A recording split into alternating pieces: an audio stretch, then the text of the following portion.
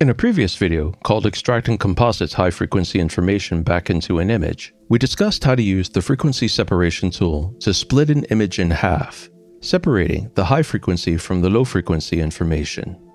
The low frequency part of an image is where you find information pertaining to brightness and color, and the high frequency side of an image is where you find the information pertaining to definition.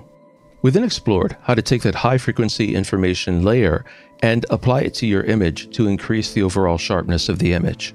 And in case you didn't see that video or need a refresher, let's look again at what high and low frequency information are more closely because I know it's counterintuitive. So I've opened the Wizard Nebula image in Affinity Photo. I'm going to go up to the Filters drop-down menu and select Frequency Separation. When the Frequency Separation tool opens, we'll see the tool itself and a slider bar on the image. On the tool, I'm going to drag the radius all the way to 100 pixels, which tells the tool to separate all the high-frequency information from the low-frequency information.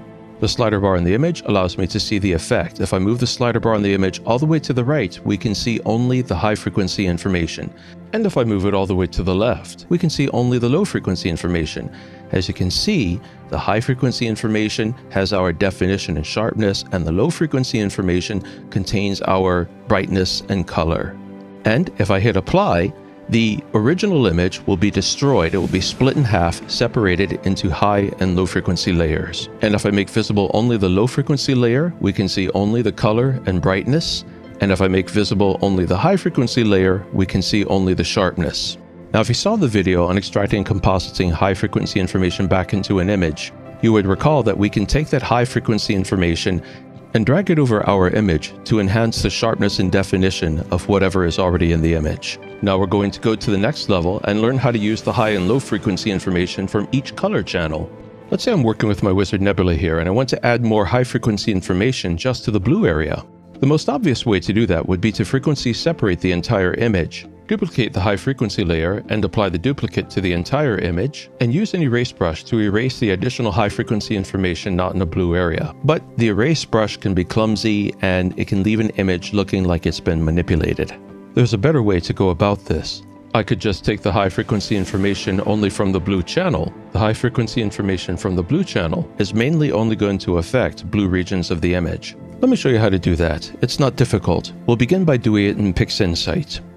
You can take the image that you have developed so far and export it as a lossless TIFF into PixInsight if you use PixInsight. And there you can use the Split RGB tool, I've circled it above, and split your image into its RGB channels. Then, since I want the blue information, I can just save the blue layer as a lossless TIFF and bring it back into my non-destructive layer-based photo editor, in my case Affinity Photo, and there use the frequency separation tool to extract the high frequency information. But I don't need PixInsight to separate the channels. I can do this just as well in Affinity Photo.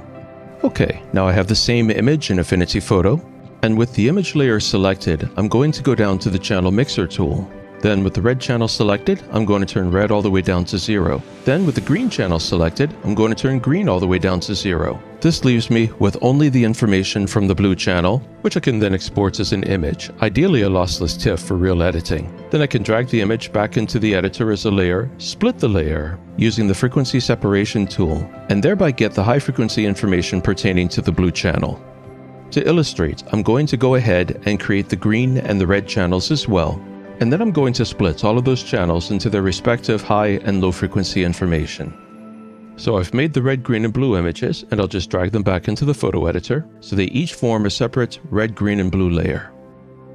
And I'll then run frequency separation on them. Okay, here I've run frequency separation on each layer and gone about already labeling it. You can see we have a color image, and, and that's because I have screen composited the low frequency information from the green and blue layers onto the red layer. They have added all their color information together, which is what gives us a full color image. Now let's head back just the red high frequency information. You can see sharpness added to the red region of the nebula. The red channel also affects the stars because stars are broadband emitters. Now let's see what happens when we take away the red high frequency information and add the green high frequency information. You see some sharpness spread out through the red regions and into the blue regions. This is because the green channel is not a primary color like the red and blue channel. The green channel is a catch-all channel and it affects all the colors to be found between red and blue. and has a fair bit of red and blue mixed in with it. But its sharpness is more spread out and less intense than what we saw in the red high frequency information. Let's go back and take a look at the red high frequency information. And if we add them together, we have most of the sharpness within the image, because most sharpness in any astrophotography image is contained between green and red. Now I will remove the red and green high frequency information and add the blue. You can see that it adds its sharpness almost exclusively to the blue regions. Even then, its effect is pretty weak. And that's because in many astrophotography images, blue is a relatively weak influence in terms of sharpness. But we can increase the impact of its influence with something like an unsharp mask. I'll select the blue high frequency layer and the unsharp mask tool. This will add the unsharp mask tool to the blue high frequency information layer. So the unsharp mask tool will only affect the blue high frequency information. Because blue has a relatively weak influence in terms of sharpness in this image, I'll crank the radius way up and then add to the factor by a good bit. And you can see when I do that the sharpness is increasing considerably within the blue regions of the image. But what if I wanted to increase sharpness in a red area of the image? Well, I could extract the high frequency information only from the red layer and then add something like an unsharp mask or a high pass filter to it to increase the sharpness found only within the red regions of the image. I shouldn't really say only within the red regions because in color images, all three colors have a little play at all times all over the image. But nonetheless, the red channel will affect mostly the red areas of the image. Now the benefits don't just come from the high frequency side of the information. We can also improve an image by using the low frequency information from a specific color channel. Let's say I look at this image and I don't care for the, the bluish tinge to the reddish color in the upper left and the lower right side of the image where the outer dimmer regions of the nebula are. In other words, I feel that the blue channel has had too much influence in those outer regions due to the dimness of the light. So I want to reduce the influence of the blue channel in dim regions of the image.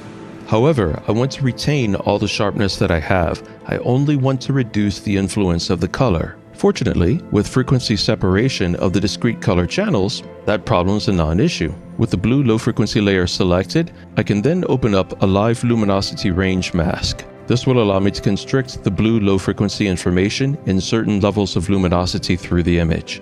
I'll set the range mask to linear because I want to make a fairly sharp constriction keeping it just to the dimmer regions of the nebula, where the dim light has allowed the blue to become a little over-dominant. And I'll draw the left side of the filter down until I see the blue withdraw from the dim regions of the image. Now unfortunately, when I made that change, you probably saw that in the middle of the image, the blue colors were affected, all the colors really became a little less popping, a little less vibrant. And that's because there is a little blue in everything. I only want to restrict the flow of blue to the darker regions of that image. So I'm going to constrain the reduction of the blue only to the very dimmest regions of the nebula. I'll do this by left clicking on the graph, creating a new edit point which I'll draw up sharply until I see the colors return to the rest of the nebula. Now much of the blue will be pulled out of the dimmest regions of the nebula, but still be retained throughout the rest of the nebula to keep our popping colors. So as you can see, we can use both high and low frequency information from each channel discretely to make very specific and even more advanced editing changes to an image. We can use the high frequency information separated from the red, green, or blue color channel to modify sharpness within red or blue or general green regions of any image. And likewise, we can use the low frequency information drawn from the red, green, or blue channels to make very specific color or brightness edits to regions of an image that are influenced primarily by any of those specific colors. I hope that helps, and if you have any thoughts, observations, or questions, please leave them in the comments section below. And as always, thank you for watching, and thank you for your likes and subscribes and, well, just making this channel grow so fast. I'm, I'm very grateful to everybody. I hope you're having a blast shooting astrophotography and just as much fun editing your images. Now, you know what comes next. Get out there and shoot the sky.